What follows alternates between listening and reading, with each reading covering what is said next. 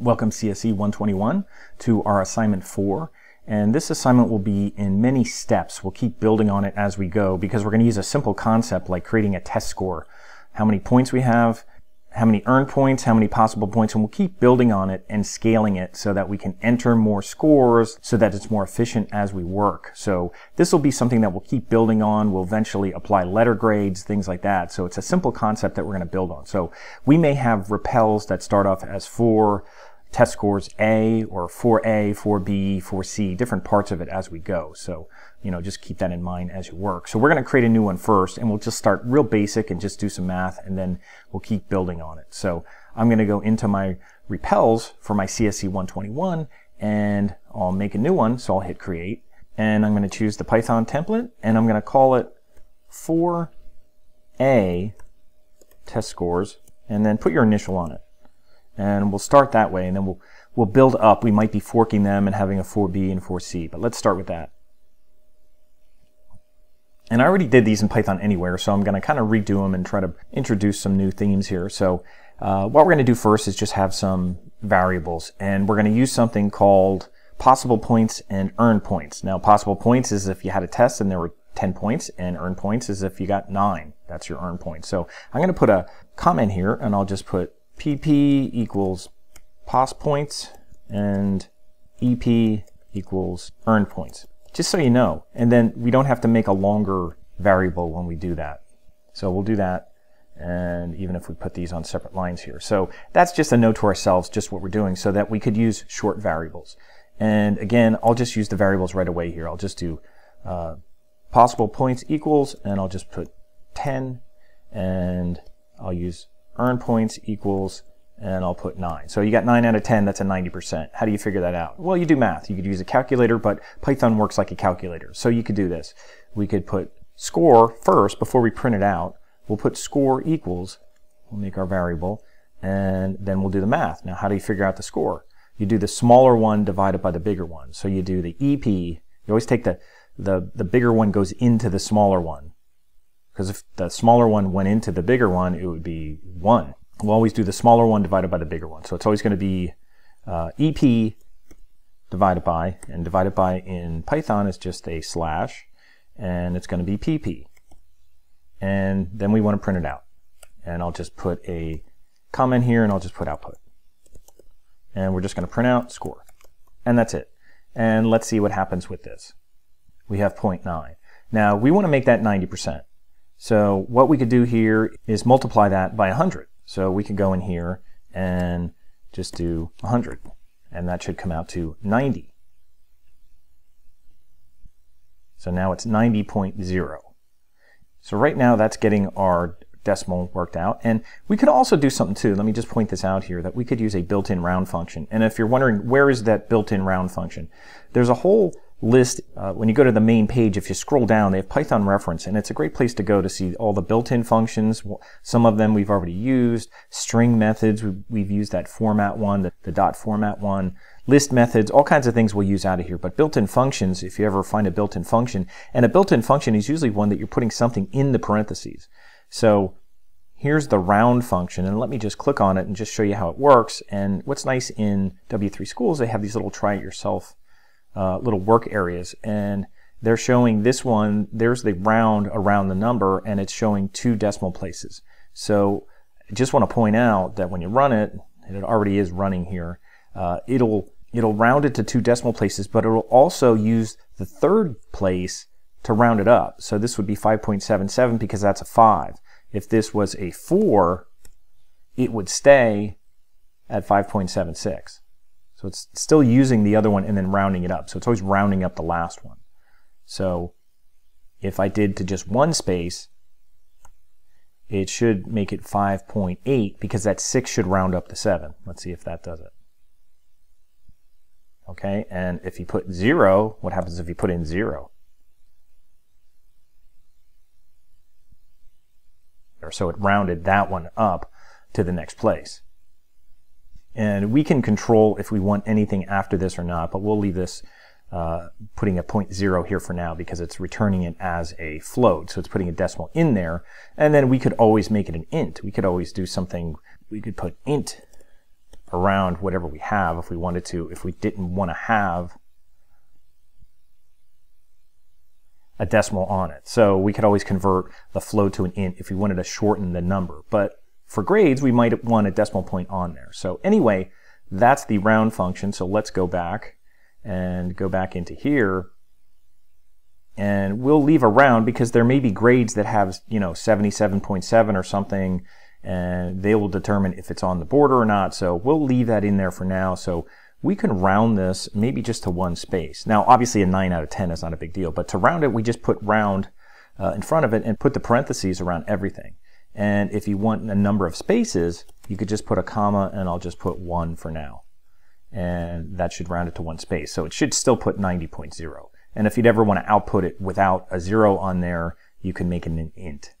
Now, if you wanted to put parentheses after here, you could basically use an f string. I could put f and then put this inside of here with curly braces, and then I could put a percent sign. And I'd have to make the whole thing a string, right? Except the f. So I'll make this a string, and the f is outside the string, so let's run it. And it says 90%. So let's just put something in here inside the string, like you earned a, and then I'll put a space you earned a 90%. So we'll do that for now. Okay, you earned a 90%, so we have the percent there. So we could try anything. We could try, you know, 50, and then you got a 46, or 40, let's try 43, an odd number, see what comes up here. Okay, now it's an 86.0. Uh, maybe 44, let's see what we get. Okay, so we're doing we're doing that, so it's giving us nice even numbers here uh, based on 50. Now let's do this as an input. We're doing PP and EP, and we're just kind of putting numbers here, but we want to be able to input it. So let's put an input in here, and that way we can put in anything we want instead of changing these numbers. So I'm going to go here and put input, and I'll put a prompt, so I know what I'm putting in here, and I'll put enter pos points. I'll just shorten it for now. Put a capital E here, and then I'll copy the whole thing and put it here, and I'll put enter earned points. And that's our input prompt. Now let's see what happens. What do you think is going to happen now if we put something in? Let's try it out. Okay, let's say we had uh, 25 possible points, and then you got a 20. We get an error. Why do we get an error? From the previous exercise, remember, we're doing math, and inputs actually take the data as strings. So we have to convert that. Now, the easiest thing to do is just put an int right around here. Put int and wrap it around the whole thing. So whatever you put in there, if you know you're going to be working with numbers, just wrap int around that. And then we could put in 25, enter, and then 20, and now we get an 80% based on that. So that's working okay. Now let's see if we could start to build on this a little bit. Let's say we have four tests. And I'm going to move this down. And I'm going to copy this like four times. I'll copy this. And when we do our inputs, bring this back up here, uh, we might want to have space in between each one and each group that we do. So I'm going to go in here and I'm going to put a backspace n. That's a new line character and I'm going to put it inside there. So I'm going to put backspace n and it should, and actually I only need it, well, I don't even need it here. I just want it here, backspace n, backspace n, backspace n. And let's see what's going to happen here. Now, we already know this isn't going to do much for us because if we did four different ones, we're basically reassigning this each time. So what I'm saying is, is if you go in here and you put, okay, I got um, 10, that's a discussion thing, and I got 9. And then I got an assignment. There was 25 points, and I got a 23 on it. And then the other one was another uh, quiz. It was 10 points, and I got an 8 on it. And then finally, there's another exercise. It was 20, and I got a 20 on it. And I'll hit enter. So you earned 100%. Now, why did you earn 100%? First of all, I'll go and put a extra space here. I'll put a print and I'll make it a, a string and I'll put backspace n, just so there's an extra space there uh, the next time we do it. Now, how do we get 100% out of that? We got 9 out of 10, 23. Why is that 100%? Because it's only using the last one, because it's being redefined every time.